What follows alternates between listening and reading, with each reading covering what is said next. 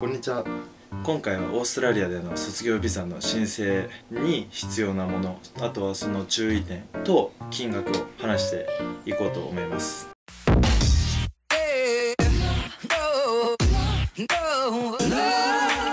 でまず初めに必要なものから話していこうと思うんだけど卒業ビザはそもそもまあ大学か、えっとテーフとかのカレッジみたいなやつとかを短大みたいな卒業しないとまず申請できないビザで。で卒業ビザっていうのはサブクラス485っていう名前なんだけど。でこれ申請する上で必要なのが9個のものが必要なのね。でまず絶対必要なのが身分証明。まずはパスポートクレジットカード、えー、ドライバーライセンスがあればドライバーライセンス。なかったらあとなんだろう？なかったら戸籍謄本のコピーとかでも大丈夫だと思います。であとはポリスチェック。ポリスチェックは絶対必要だね。でこれがいくらだと10ドルから20ドルだった気がする。それはまた後で調べてちょっと載せときます。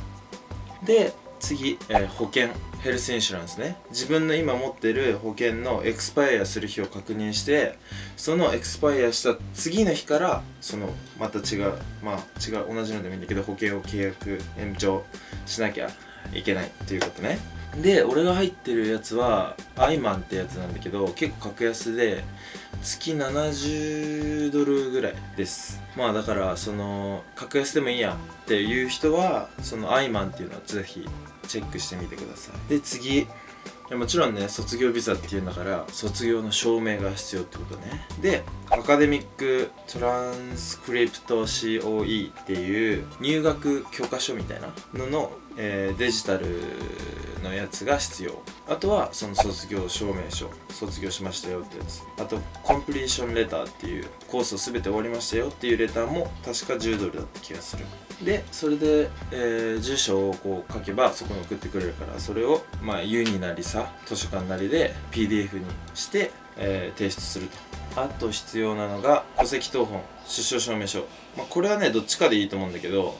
日本で2つを取って持ってくる。場合はそれを英訳しなきゃいけない。英訳が確かね50ドルぐらいだっけ？だって気がします。英訳ね。英訳してもらってそれも提出すると。でもう最後なんだけど意外とね少ないんでね。最後は、えー、IELTS IELTS は必要なんですね。で IELTS は、えー、卒業ビザならオーバーオールが6.0以上ということで。で今ね、あのー、結構大きな都市でそのパソコンで受けるコンピューターなんだ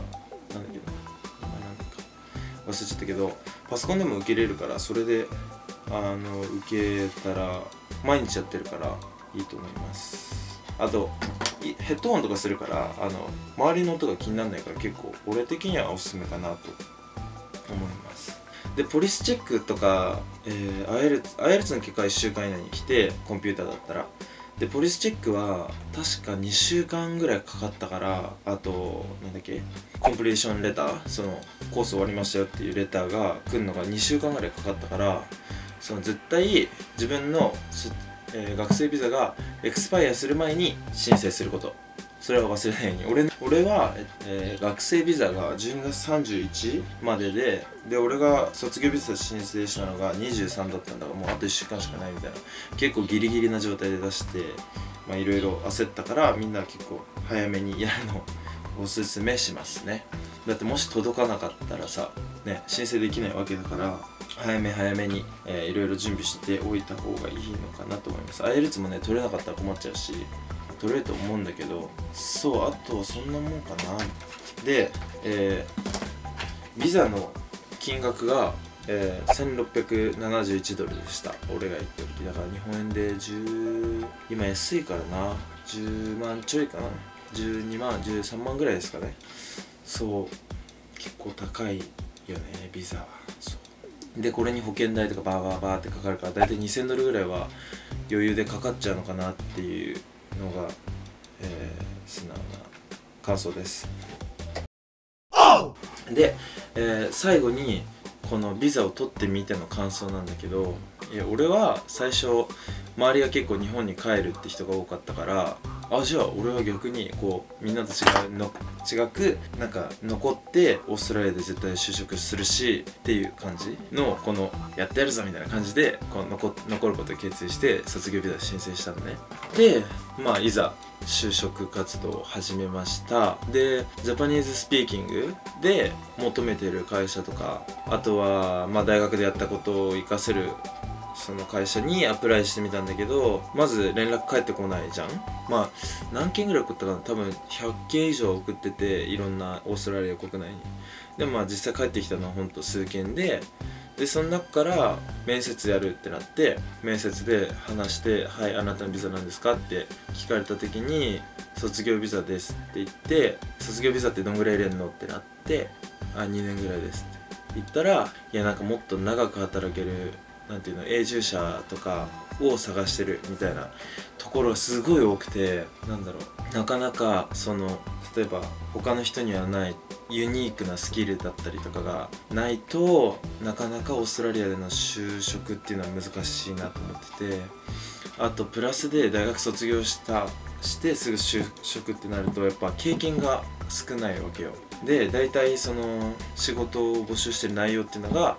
ミニマム2 years experience とか3 years とかいろんなそういう感じであるからそのやっぱ経験がないといきなりフルタイムジョブを見つけるのは難しいのかなっていうのが難しいなと思いましたね個人的には。だからもしなんだろうなその卒業ビザ取る前に戻れるなら日本に帰ってきて23年働いてその後にまあ卒業ビザっていうのは使えないけどまたオーストラリアに長く入れるビザを取るためにこう日本で経験を積んでから行った方が長い目で見たらいいのかななんて思ってるんでぜいろいろねこうまあ俺の経験とかをこう伝えてその長くねオーストラリアにこれからもいたいよって人がいるなら参考にしてもらえればなと思って今回動画撮りました。そういう感じです。ということで今回も動画見てくれてありがとうございます。ぜひチャンネル登録といいねをよろしくお願いします。あとは SNS のチェックもよろしくお願いしますあとはなんだろうな。他にも聞きたいことがあったらぜひコメントでも、まあ、DM でも何でもよろしくお願いします。ということでまた次の動画で会いましょう。バイバイ。